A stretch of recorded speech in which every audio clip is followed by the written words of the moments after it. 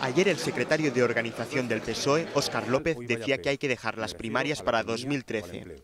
Hoy el alcalde de Zaragoza, Juan Alberto Belloc, compartía micrófono con Carme Chacón en un desayuno. Belloc responde que la elección del candidato del PSOE no debe dejarse para el último momento. Es verdad que se puede argumentar, es que entonces si se hace, eh, se puede quemar el candidato o candidata. Pero hombre, por Dios, la política es eso saber si te quemas o por el contrario ganas. Añade que si se organizan unas primarias abiertas a todos los simpatizantes, como se hace en Francia, la elegida será Carme Chacón, a quien ve como presidenta. La apoyé con entusiasmo para ser candidato a la Secretaría General de mi partido, porque eso pienso de ella, que es, que podrá ser, que llegará a ser, ¿por qué no, presidenta del gobierno de este país? Belloc tiene claro que si el PSOE quiere ganar las próximas elecciones generales, no tiene ni un día para esperar. Carmen Chacón lanza el mismo mensaje.